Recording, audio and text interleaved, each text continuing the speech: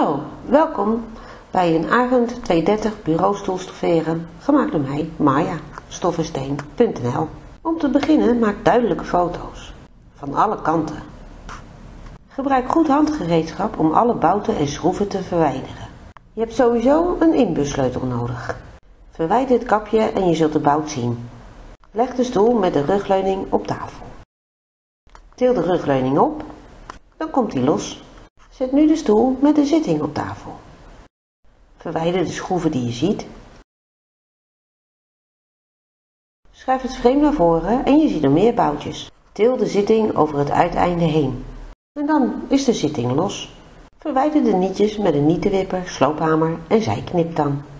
Knip het koord door, verwijder de hoes, de rugleuning. Verwijder hier ook de nietjes en knip het koord door. Gebruik stoffeerkarton en lijmspray. Lijm de hoes op het stoffeerkarton. Teken de vorm na met een stift op het karton. Voor de zitting heb je een toornmesje nodig. Markeer het midden.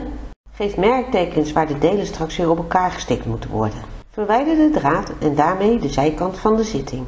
Wil je een gedetailleerde handleiding? Kijk dan in ons downloadcentrum. Verwijder al het garen van de zoom. Lijm de delen weer op een stuk stoffeerkarton. Vergeet niet je merktekens over te nemen op het karton. Knip of snijd de mallen uit. Leg de mallen op je stof. Knip de stof uit. Schrijf op de achterkant van de stof welk deel het is. Als je een compressor hebt, zet deze dan op 6 bar. Je hebt een koord nodig. Ik heb knopen touw gebruikt. Begin met een rugleuning. Leg het touw langs de stof. En lok de stof. Heb je geen lokmachine? Gebruik dan een zigzagsteek. Het zou er zo uit moeten zien. Laat de opening in het midden vrij. De zitting. Leg het middenstuk onder met de goede kant van de stof naar boven. Het zijstuk leg je daar bovenop met de goede kant van de stof naar onder. Stik op 1 cm van de kant. Zorg dat je merktekens op elkaar komen. Wil je een uitgebreide en gedetailleerdere handleiding? De link kun je straks vinden in het vak onder de video. De merktekens komen precies uit. Knip een V-vorm uit de ronding.